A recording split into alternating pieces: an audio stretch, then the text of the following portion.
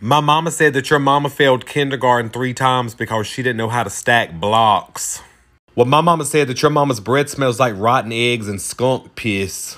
Well, my mama said the back of your daddy's neck looked like a pack of Oscar Mayer hot dog weenies. Well, my mama said that your grandmama slept with the pastor and the pastor's wife. Well, my mama said that your grandma's so old that she helped lead the animals onto Noah's Ark. Well, my mama said that your mama has seen more penises than the urinals at Disneyland. Well, my mama said that your mama missed all of seventh grade because of the complications from that illegal abortion she had. Well, my mama said that your mama was a trick ass bitch with rotten teeth and low self esteem. Well, my mama said that your grandpa's got a foot fetish and he likes to suck on crusty toenails, bitch. Well, my mama said when your mama graduated high school, she was voted least likely to succeed. Well, my mama said that your mama don't like to wear shorts because she likes to cover up the scars on them hoary ass kneecaps, bitch.